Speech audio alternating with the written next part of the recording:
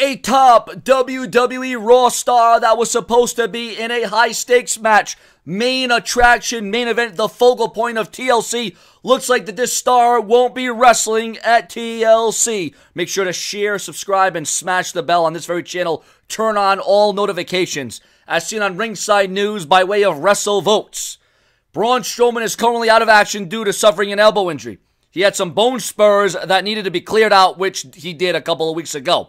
It's been keeping you reported here on SeanzView. I give my view and opinion around the clock. I don't stop, as well as Ringside News, Wrestling Inc., the Dirt Sheets, the websites.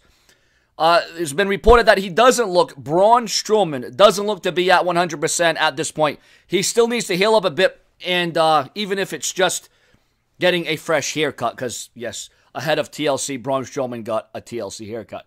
But WrestleVotes reports that Strowman is not likely to be cleared by WWE's Sunday pay per view extravaganza. John Cena is actually filling in for Braun Strowman during WWE's holiday tour because they need someone very badly. But John Cena, while he'll be returning to WWE, won't actually be on your TV screens.